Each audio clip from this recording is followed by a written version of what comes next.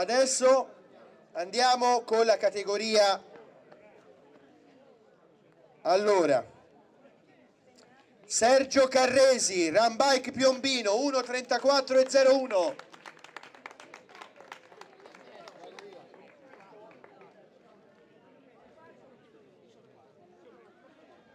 Graziano Daddi, il Rivellino 1.29.54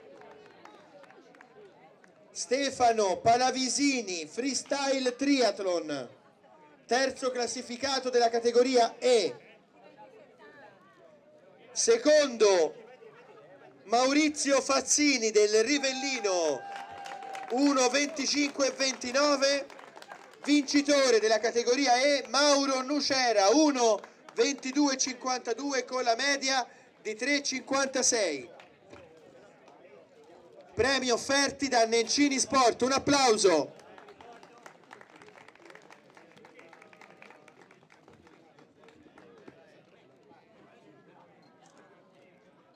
Vai, vai,